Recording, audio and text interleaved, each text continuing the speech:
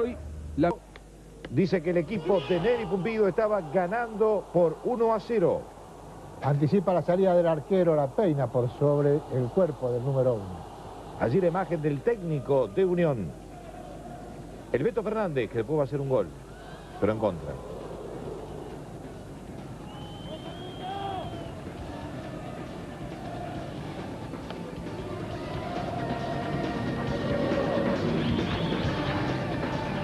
El pelotazo es de Dilger.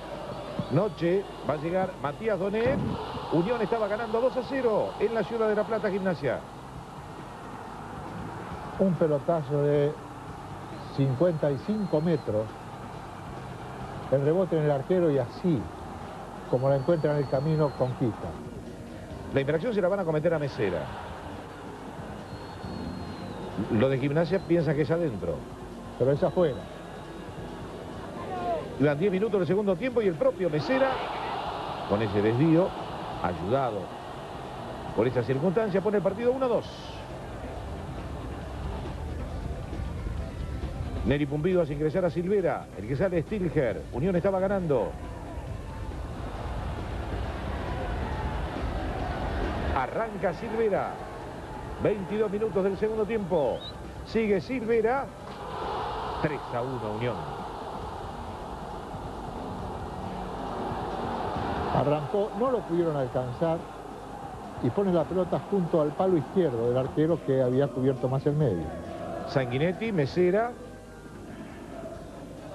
El Beto Fernández, una jugada realmente desgraciada. Era el quinto gol del partido. 2-3.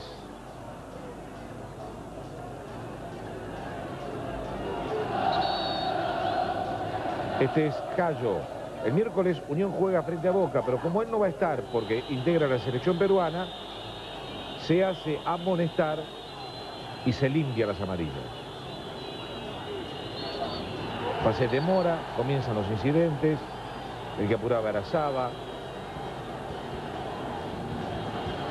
comienzan los tumultos, las agresiones, Basi es el árbitro y llegarán las expulsiones la de este hombre, el pájaro Domisi, y la de Vitamina Sánchez.